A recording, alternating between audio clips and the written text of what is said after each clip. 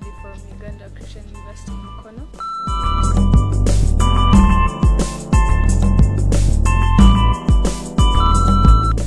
Um, doing Bachelor's of Procurement and Logistics Management.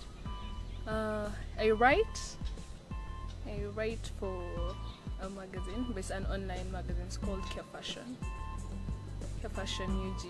Then I, I've also started modeling. I say recently, last year. I've done two shows so far. Yeah.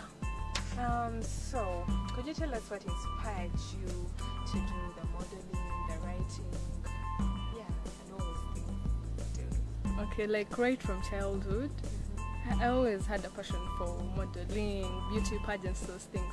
Because at school would have them, and then I would have to, I would participate. Then I went to Nabisunsa Girls School, so we also had a beauty pageant, yeah, and I was Miss Nabisunsa, but we used to call it Miss Ebony. So those who know me, they know I love doing that, modeling, beauty pageants.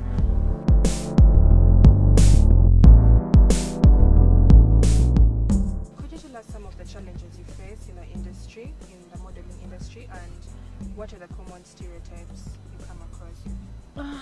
I wouldn't really say there are challenges huh? Because in fashion, not everyone will accept you. Sometimes you'll be rejected, sometimes they'll accept you because sometimes they want a specific kind of model. And maybe if you don't fit those specifications, they will not take you. And then maybe the stereotypes people think if you're plus size, you can't model. They, they, people have it in their heads only the small people. Okay, because that's how it is abroad. Mm. But we are Africans. We are African women. So, what do you have to say about um, the issue of probably like sexual harassment and people making sexual advances to you, like as a model? Has that happened, or how do you think someone can address like such a you know challenge? I think men should respect women. You know, like sometimes parents, when you tell them you're going to model, they might think it's something bad.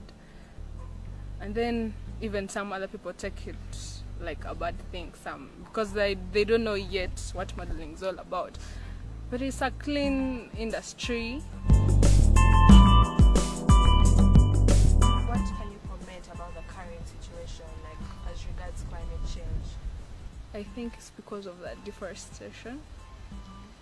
People cut down the trees for to sell them. People are trying to make a living, but then it's also affecting us so much. It's been rainy sometimes, but then before it was so hot, some people went without food.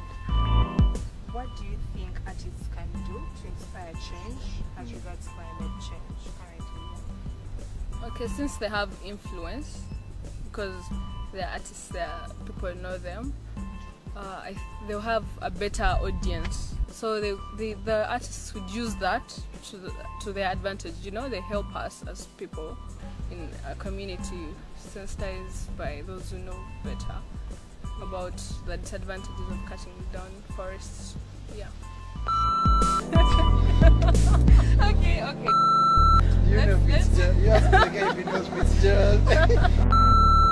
Hello, I'm Namara Hawa, and with Expression UG.